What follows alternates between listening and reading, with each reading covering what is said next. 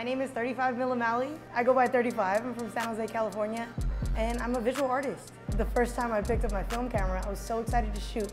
I cut my math class and I went to Japantown and shot my first roll. That's what I did, and then I dropped it off at Henry's, and I fell in love ever since, you know? I love shooting portraits, love shooting people. It's actually capturing like feelings. That's what I love doing. My muse is everywhere, and typically that's my friends. Wherever I go, my homies come too. Like I am Sue says, people are always like, how are you uh, capturing that moment, you know? It looks so cool, and I'm like, they're just being themselves, and I'm just being myself, and it's as simple as that. I'm super excited to, you know, be a part of this residency with Adobe and the Earthquakes, because San Jose is my home. I've been repping San Jose forever.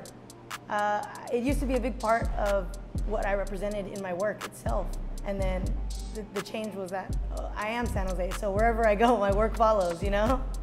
I'm so grateful to have this opportunity. This is something I've always dreamed of, and, and you know, now my dreams are turning into goals within reach, and it, it's amazing, you know?